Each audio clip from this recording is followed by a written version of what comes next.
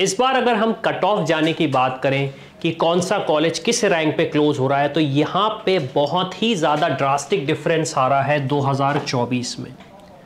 अब जब हम डेटा एनालाइज कर रहे थे, हमने कहा कि चलिए हम देखते हैं एम्स का क्या स्टेटस है। तो हमने सारे एम्स का डेटा एनालाइज किया, जो ओपन कैटेगरी का कट ऑफ़ गया। ओपन कैटेगरी मतलब जनरल और ओपन सीट कोटे से जो कॉलेज क्लोज हुआ है। अब यहाँ पे काफ़ी सारी शॉकिंग चीज़ें देखने मिली और सबसे इंपॉर्टेंट चीज़ जो हमें, हमने देखी राउंड वन में, वो ये कि इसके बेसिस पे हमें समझ में आ सकता है कि क्या हमें राउंड टू एमसीसी की काउंसलिंग करना चाहिए या नहीं करना चाहिए। दूसरी सबसे बड़ी चीज़, अगर हम स्टेट की काउंसलिंग कर रहे हैं तो स्टेट में क्या हमारे पास एक अच्छा कॉलेज मिलने के चांसेस बढ़ सकते हैं? क्यों? क्योंकि काफ़ी सारे स्टूडेंट्स टॉप मेडिकल कॉलेजेस में जाने का सोच रहे हैं। तो चलिए, हम देखते हैं एम्स का क्या कट ऑफ़ रहा है राउंड वन में।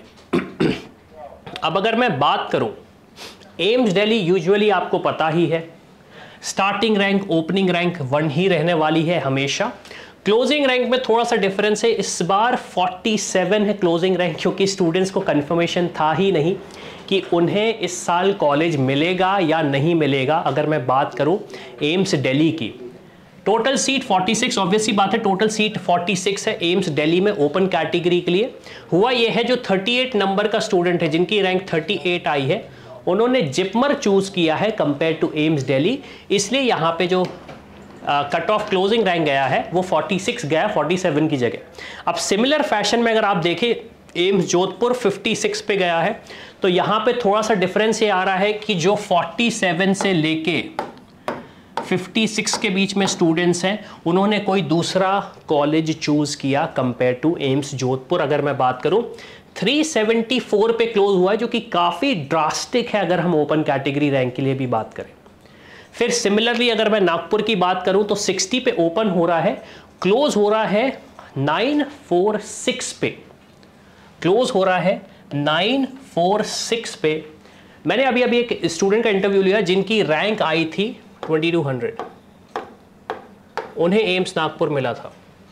आप जाएँगे, चैनल पे मिल जाएगा उनका इंटरव्यू भी।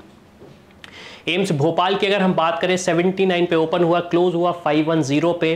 फिर अगर मैं एम्स भुवनेश्वर की बात करूँ 97 पे ओपन हो रहा है क्लोज हो रहा है 594 पे। अब यहाँ से आप देखेंगे थोड़ा सा ड्रास्टिक डिफरेंस और आने लगा। अब देखिए, मैं कल्याणी की बात करूँ 220 पे स्टार्ट हुआ, दो हज़ार एक सौ उनचास पे क्लोज हो रहा है राउंड वन सारी की सारी 50 सीट्स अलॉट हो चुकी ओपन कैटेगरी की. मंगलागिरी की बात करूँ दो, 221 पे हुआ 1800 पे क्लोज हो रहा है. AIIMS Rishikesh north India Uttarakhand का जो कॉलेज है स्टार्ट हुआ है 241 पे लेकिन क्लोज हुआ है 731 पे. ये डिफरेंस आ जाता है यूजुअली अगर मैं बात करूँ उन इंस्टीट्यूशन में जो नॉर्दर्न पार्ट ऑफ़ इंडिया में जिसे नॉर्थ बेल्ट बोलूँगा वहाँ पे ज़्यादा रहते हैं. फिर इसके बाद अगर हम फर्दर देखें तो एम्स भटिंडा की अगर हम बात करें 242 पे ओपन सॉरी 272 पे ओपन हो रहा है। क्लोज हो रहा है 1589 यहाँ पे ये जो नंबर लिखा हुआ है, कितने स्टूडेंट्स को अलॉट हुआ तो जितनी सीट्स हैं, सारी फिल हो चुकी हैं ऑलमोस्ट ऑलमोस्ट फिर मैं बात करूँ रायपुर की, आप देख सकते हैं डिफरेंस पटना में थोड़ा सा डिफरेंस आ रहा है, बिलासपुर हुआ, राजकोट हुआ। राजकोट में हालाँकि सीट्स कम थी। राजकोट में सीट्स कम थी, लेकिन फिर भी आप देख सकते हैं, ज़्यादा डिफरेंस नहीं आया। तो इस साल का अगर मैं ट्रेंड ट्रेंड की बात करूँ तो मैक्सिमम स्टूडेंट सिर्फ़ और सिर्फ़ एम्स ही जाने की कोशिश कर रहे हैं। यहाँ पे जो भी सारे 20 एम्स हैं, इसमें आप स्टेटस देख सकते हो। बस एक जो थोड़ी सी एबनॉर्मेलिटी दिखी मुझे, वो थी आपकी एम्स मधुराई में। एम्स मधुराई की ओपनिंग रैंक गई है 3409 3049 ओपनिंग रैंक गई है क्लोजिंग रैंक गई है 4531 अब यूजुअली अगर मैं बात करूँ अगेन 19 सीट्स फिल हुई है। अब एम्स मदुराई के साथ सबसे बड़ा चैलेंज ये है कि स्टूडेंट्स को लगता है कि ये सदर्न पार्ट ऑफ़ इंडिया में है तो इतना अच्छा रिव्यू नहीं है। अब ये सारी चीज़ें स्टूडेंट डिसाइड करें। लेकिन अगर मैं बात करूँ एम्स मदुराई के बेसिस पे तो ये एक बहुत ही ज़्यादा हाई ओपनिंग रैंक है स्पेशली एक इंस्टीट्यूशन जिसका नाम एम्स में लगा हुआ एक ब्रांड वैल्यू बनी रही है। तो अगर हम बात करें सेकेंड राउंड में तो सेकेंड राउंड की अगर मैं बात करूँ तो यहाँ पे एम्स में कॉलेज मिलना तो बहुत मुश्किल है स्पेशली उन स्टूडेंट्स के लिए जो एमसीसी काउंसलिंग के थ्रू यहाँ पे एडमिशन लेने की कोशिश करेंगे। और जो स्टूडेंट्स 2025 के हैं, इस वीडियो को देख रहे हैं, आप समझ सकते हैं कि कितना ज़्यादा ड्रास्टिक डिफरेंस आया है 2023 और 2024 की रैंकिंग में। 2023 और 2024 की रैंकिंग में कितना ज़्यादा ड्रास्टिक डिफरेंस आ गया है।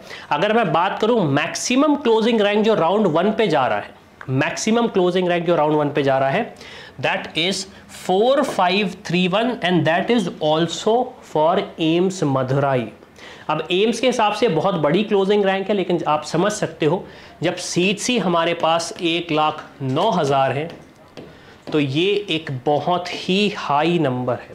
एक बहुत ही हाई नंबर है।